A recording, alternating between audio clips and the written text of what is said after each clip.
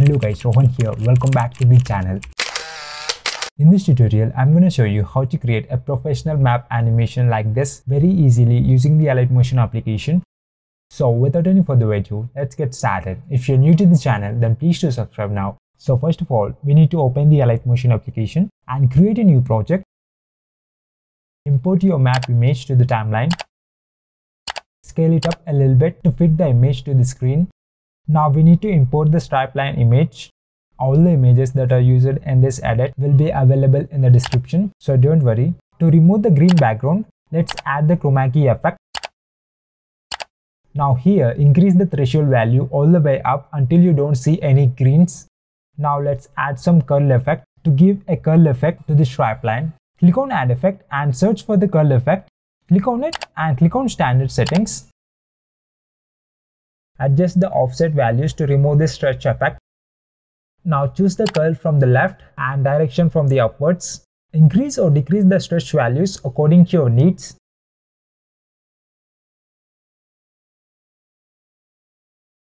Now with the help of move and scale tools, adjust its position. You can adjust the rotation as well. So now let's say I want to go from Mexico to India. So adjust the stripe line according to it. Now we need to make a path. To do so, we need to select the vector drawing tool and here we need to draw a path exactly over the stripe line. So let me show you how to do it. By swiping over the control pad, adjust the pointer position at the starting point like this. Let's zoom in to adjust it more perfectly. You can give a tap on the control pad to add a point or else you can click on this add icon to add a point. After adding the starting point, add a point at somewhere in the middle of the stripe line like this and then click on this add icon to add a point. Now add another point at the destination location. Now with the help of this side panel, swipe it to navigate to the second pointer. Now when you visit the second pointer, click on this curve handle icon to convert that sharp edge into a curve. Let's decrease the opacity to see through what's going on. Now we need to adjust the path line exactly over the stripe line. To do so, select the shape layer, click on edit points and with the help of this side panel, navigate to the second pointer. Click on this icon right here to convert it into a sharp edge and then click on it again to convert that sharp edge into a curve. So now we can see the handlebars. Select any one of those handlebars. With the help of this control pad, adjust the path exactly over the stripe line. I guess it's good enough. To get rid of this fill, click on color and fill and here click on this no fill icon to remove that fill. Now if we come back, we cannot see the path. So let's add some border to it by clicking on border and shadow. Now here enable the stroke but still we could not able to see the stroke because we have previously minimized the opacity of it. So let's increase its opacity to the fullest. I hope you are able to see it now. Now let's add the aeroplane shape.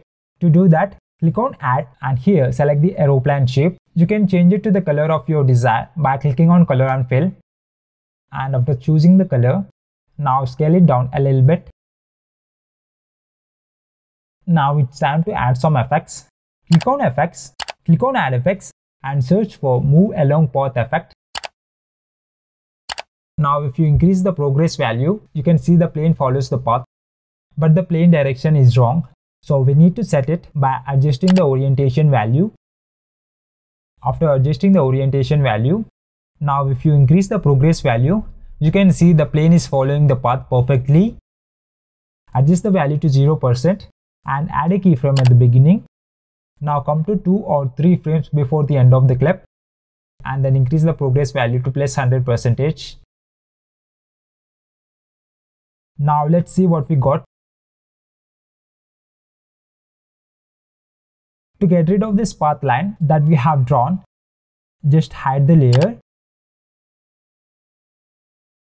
And yet you can see the plane follows the path.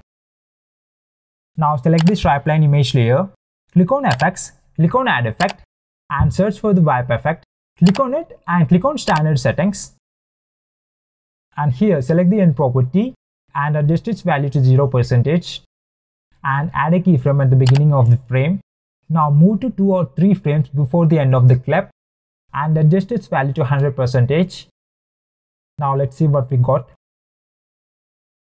You can make the edit look more interesting by adding the zoom in effect. To do so, select all the layers and group them. Now we need to add a null object. Click on add icon, click on object or element property and here select the null tool to add a null layer. Now we need to parent the group layer to the null layer by selecting the group layer and click on this parenting icon and select null one to parent the group layer to the null one layer. Now here select the null one layer, click on move and transform and with the move tool selected, add a keyframe at the beginning. Now select the scale tool and do the same, add a keyframe at the beginning. Now come to 2 or 3 frames before the end of the clip. With the move tool selected, position the destination location at the center. Now with the scale tool, zoom it in. Now with the move tool, adjust its position at the center. I think the plane is looking too big here. Let's decrease its size by scaling it down Yeah, now it looks perfect. You can make it more interesting by adding the location PNGs. To do so, first we need to extend the timeline of the map layer to 10 or 15 frames forward. After the plane animation gets completed, now we can only see the map. Here we should add the location PNG, come to the next frame where the animation ends. Click on this add icon and add the location PNG from your gallery. Scale it down with the help of the scale tool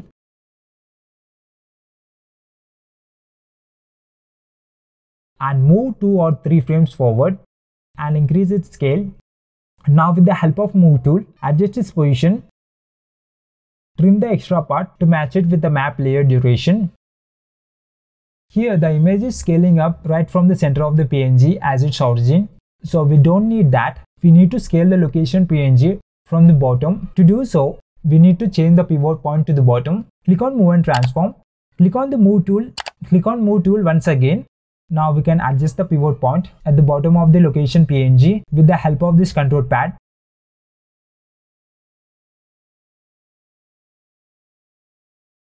Now it is scaling up from the bottom as an origin. So now it looks perfect. Add this rectangle PNG and change its blending mode to screen. And then adjust its position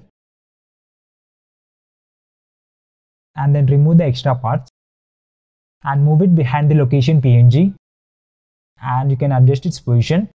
Now we need to add the text. Now here choose the font and its color and adjust its position over the rectangle frame.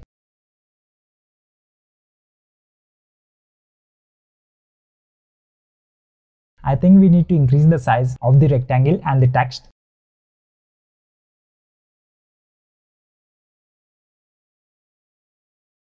So this is what we got after increasing the scales. You can give some animation to the PNGs to make them more interesting. So yeah, this is the final output guys.